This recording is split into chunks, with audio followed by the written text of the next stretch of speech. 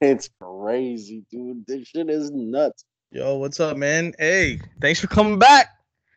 Hey, no problem, man. No problem. Yo, so we were just talking about something before we uh before we started this shit. What were you saying? Yeah, no, actually, I was saying, um, ever since this uh, coronavirus actually came out, and a lot of people stopped moving around the Earth, there's been less vibration, and there's this thing up north. I don't know exactly where it is, but they uh, they actually recorded that that there's less vibration in the Earth nowadays. What? Crazy. Um, I, like, are you talking about like the Earth's magnetic field, or No. like earthquakes, or what are you talking about? I'm talking about less people walking.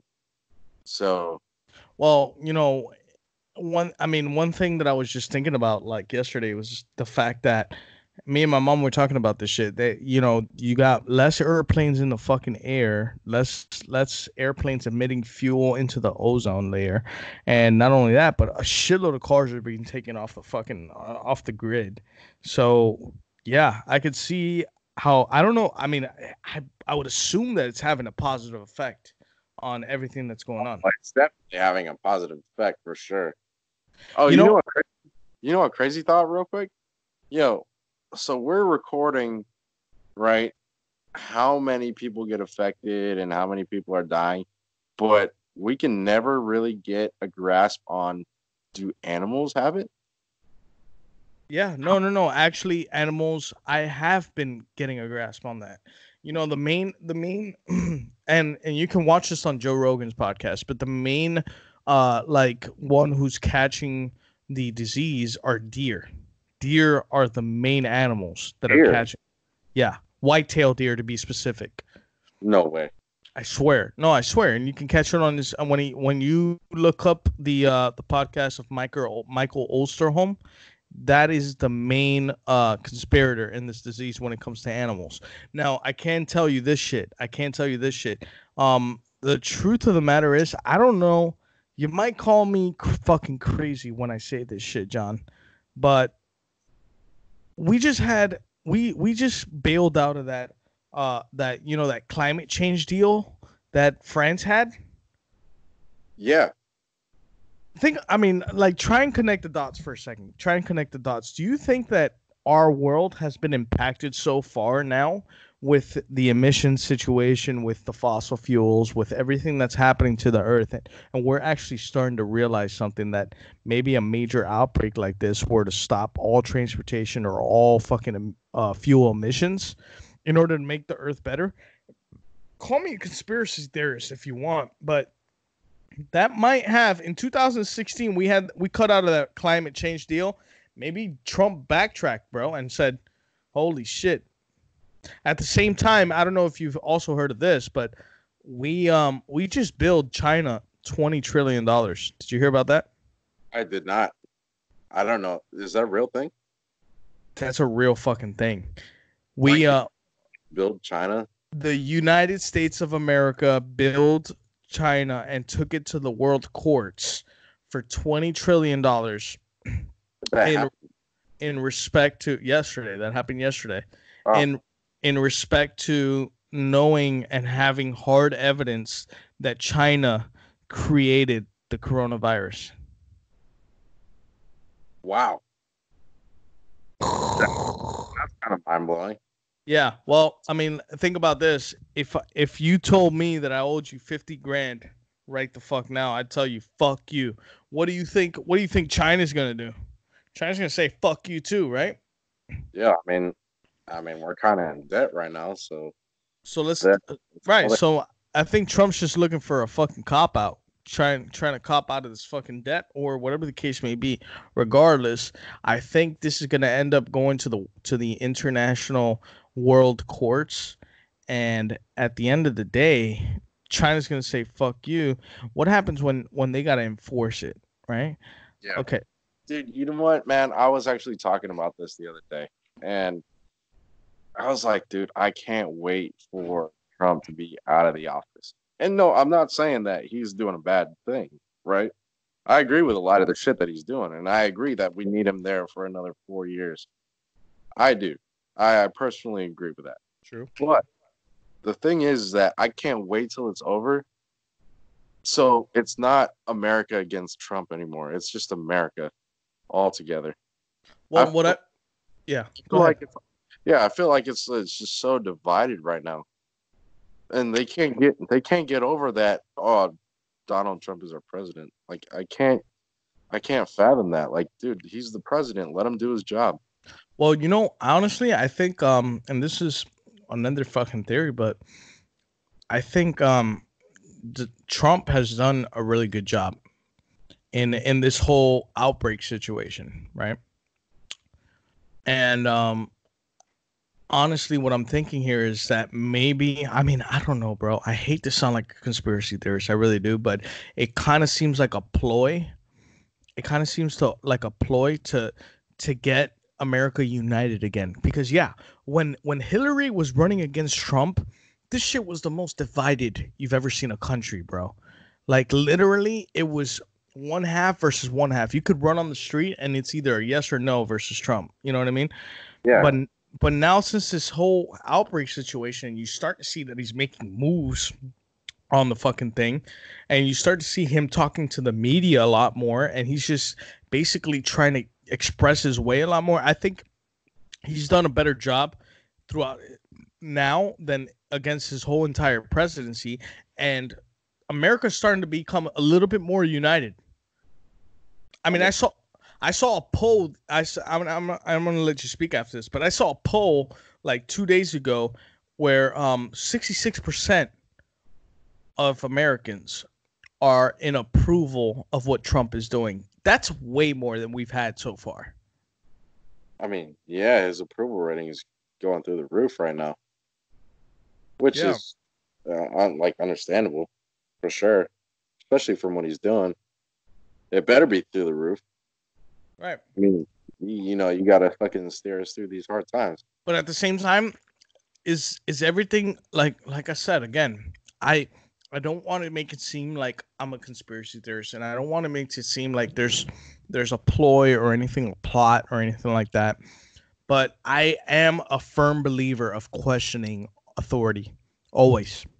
I mean, that's our God-given right, you know, to question what is happening to us as Americans, as a country. And with that in mind, I I can easily say, okay, is his approval ratings and everything that he's doing, and just to get us united, conveniently just so happening right before he's gonna he's up for reelection. I mean, yeah, but you're gonna look at that from the left shoe too, right? I'm looking at it from all sides because I'm not a political, and you know this about me, John. I'm not on any side, right? Yeah. Well, I mean, I get that. I get that. I mean, I, I just, I just, I just feel like, yo, if it is okay, crazy times, right? And it just so happens that it's up to, you know, 2020 presidential campaign, right? And all of this is happening, and he's doing well for us. Yeah, I, I, I get that could be like super political. It's I know it's kind of suspicious too, right?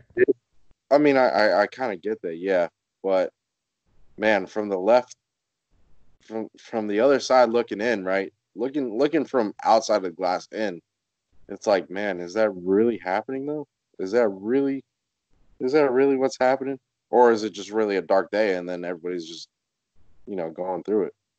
Well, in the mean in the meantime, while we're trying to figure this shit out, or if we're even thinking that this is a ploy or anything like that, I don't know if you've noticed, but the economy is tanking, and I don't know how many people, how many of friends of mine on Facebook are expressing how in dire need they got bills still piling up. I mean, no rental agency, my my entire rental complex, apartment complex, isn't giving any breaks for rental. You know what I mean? And still, I'm not making any more goddamn money. This twelve hundred dollars, bro. Think about this, John. Twelve hundred dollars. What are you gonna do with that for your three thousand dollar bills? You gonna wipe your ass with that because you ain't got no more toilet paper? Can't do nothing. Can't do shit, bro. So in the meantime, our economies start tanking. Businesses are failing. People are accruing debt. So I mean, we we might after this shit is over, bro. When everything comes out at the end of the day, hopefully we leave this shit unscathed. But at the same time, dude, I think like we're putting ourselves in a position where we might not be, United States might not be a world power any longer. there might there might not be one two. It, it's it's all about to be there's everybody's there's, going downhill, right? There's no superpowers anymore. There's there's no there's no oh, okay. America was the best. Okay, China has you know the biggest population. No, it's just I, I think after these times, it's going to be the world united. Hopefully, hopefully. I mean, you start to see that now, especially because everybody's dealing with this virus.